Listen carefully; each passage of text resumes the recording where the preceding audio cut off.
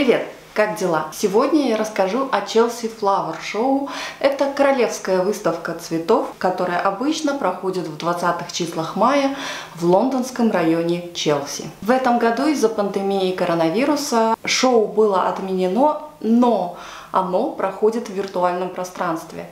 На сайте RHS, Royal Horticultural Society, то есть на сайте Королевского сообщества садоводов, можно увидеть виртуальные туры, снятые BBC, по выставочному центру, где, как обычно, дизайнеры представили какие-то свои садоводческие проекты, а также эм, садоводы, которые выращивают новые сорта цветов, рассказывают о новинках цветочной культуры. Внизу я прикреплю ссылочку на этот сайт, чтобы вы смогли зайти туда и посмотреть, как цветочное шоу в Челси перешло в digital пространство.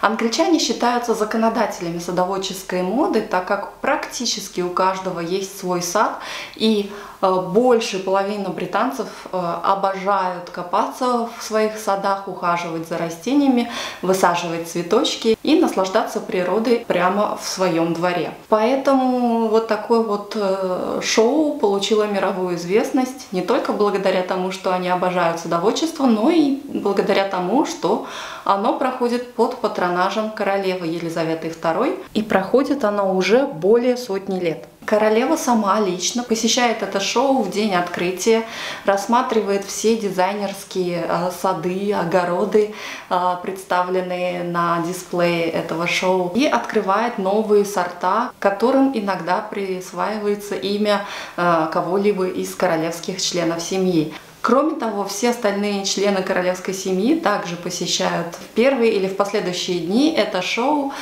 чтобы насладиться природой. Я была на этом шоу пару раз, э, когда получала аккредитацию от своего агентства Demotics. То есть я приходила за день до открытия, это назывался Press Day, э, то есть день для прессы, когда абсолютно вся британская пресса приезжает на шоу, снимает все цветочки, снимает э, всю выставку, все сады, все, что там представлено. И помимо этого, естественно, каждый из фотографов хочет захватить кого-либо из селебрити. Селебрити это знаменитости. Знаменитости тоже приезжают в день прессы для того, чтобы насладиться садоводческим искусством.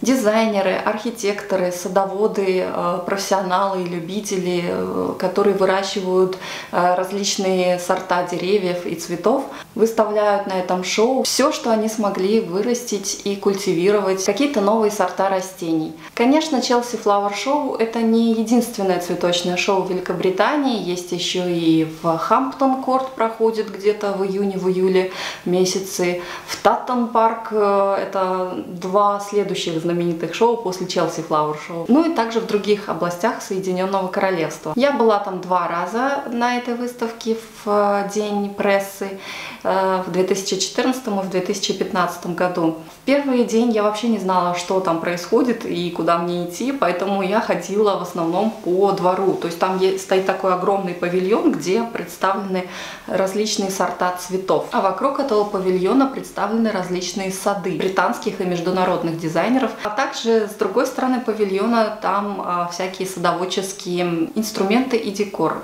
типа фонтанов а, и каких-то беседок. Я обошла этот павильон, фотографировала водопады, а, всякие различные зонтики и гамаки, где были представлены дизайнерские огороды, если это можно так сказать. То есть дизайнерские сады отдыха. Кое-где я видела, что берут интервью, и я старалась придерживаться тех фотографов, которые кого-то фотографируют. Я понимаю, что это звезды какие-то, э, я понимаю, что это публичные и известные люди Британии, но я на тот момент никого из них не знала. Уже после, когда мне надо было вписывать э, who is who, как говорится, кто есть кто, я узнала, что я сняла жену Мига Джаггера, э, по-моему, бывшую девушку принца Вилли, Уильяма и других знаменитых телеведущих, актеров, певцов, которых я не знала. Э, поэтому я как-то так э, по наитию ушла за фотографами, которые за кем-то гонялись. Ну и тоже пыталась кого-то снять. Вот так кого-то я и поснимала. Саму королеву и герцогов кембриджских на этой выставке я не видела, потому что они приезжают э, под конец дня прессы, когда вычищается полностью вся пресса, и в основном остаются только аккредитованные фотографы для королевской семьи и телеканал BBC. И вот они там уже ходят вокруг этого шоу, э, им все показывают, им все рассказывают, и это все фотографирует только определенная группа фотографов, там человек 10. Я слышала, что приезжал принц Гарри, когда я там была, но я его не застала, видимо, снимала цветочки какие-то. А, и люди, фотографы вокруг меня говорили, он уже уехал, он уже уехал. Я такая, блин. Но потом после этого приехала Зара, принцесса ее можно, наверное, назвать.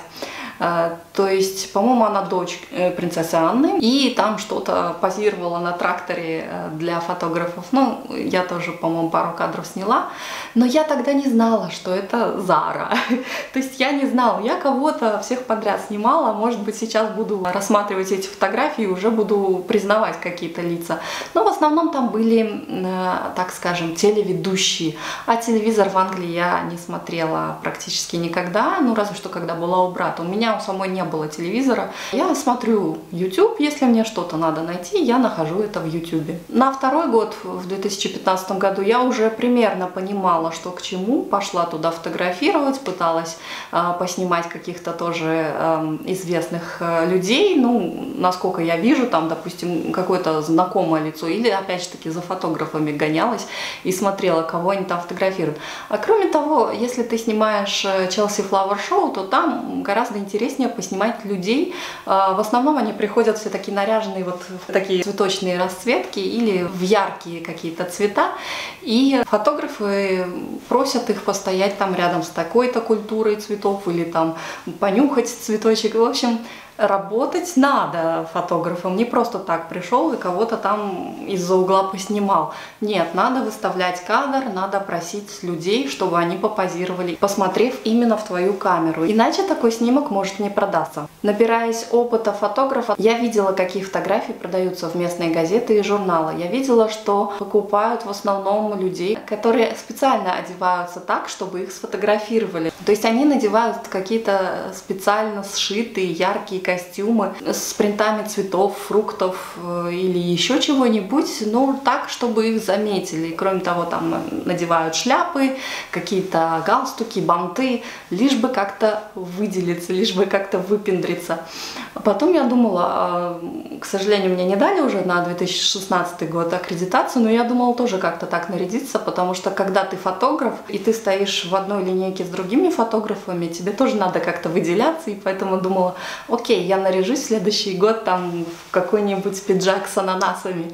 И э, когда будут просить каких-то мировых знаменитостей, посмотрите в эту камеру, посмотрите в эту камеру, естественно, люди выхватывают из общей толпы, а э, фотографы обычно наряжаются в какой-то черный цвет. Ну, знаете, мужчины, они все ходят в основном в футболках или, ну, может быть, начался флауэр-шоу, немножечко подороже одеваются. Там все-таки какой-никакой дресс-код действует э, в каких-то белых белых рубашках, допустим. И если ты будешь стоять там в какой-нибудь шляпе, то, конечно, человек э, из всей толпы выделит именно тебя. Это вот такие уловки, которым я училась как раз на таких вот мероприятиях.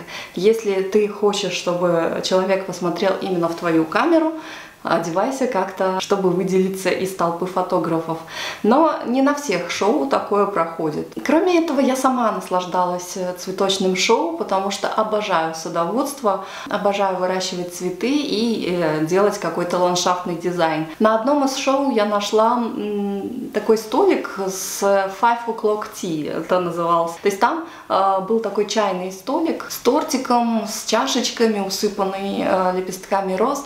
Это было так красиво, мне очень понравилось. Я там прямо зависла, наверное, на час пытаясь сделать красивые фотографии. Ну и кроме того, сама попросила людей, чтобы меня за этим столиком сфотографировали с чашечкой. Однажды я встретила там зайца, такой, знаете, ростовая кукла, которая ходила и всех развлекала. Я его обняла, говорю, давай фотографироваться. Э, тоже есть такая интересная фотография.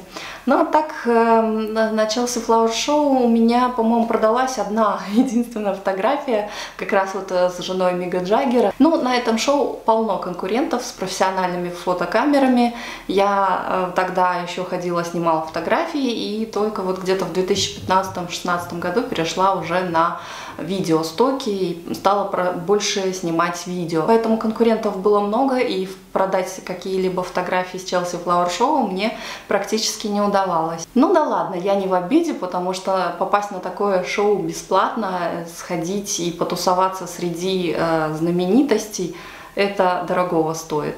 Когда я смотрела сериал «Аббатство Даунтон», э, когда, по-моему, бабушка Вайлет там э, готовила цветочное шоу, очень явно в этой серии проскальзывала тема цветочного шоу в Великобритании. Что цветочное шоу означает для людей? Там, естественно, проходит конкурс среди э, людей, которые выращивают какие-либо растения на лучший сорт цветов, на лучшие сор сорта деревьев, а также на дизайн. Это было мне очень близко и уже понятно, как англичане относятся к садоводству.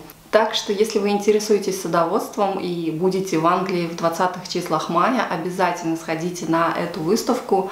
Она, конечно, не бесплатная, и билет туда стоит недешево, но если вы любитель э, садоводства, дач, э, цветов и различных деревьев и кустарников, а также если вы архитекторы или ландшафтные дизайнеры, для вас эта выставка рекомендована в обязательном порядке. Пока на этом все. Не прощаюсь с вами. До новых встреч!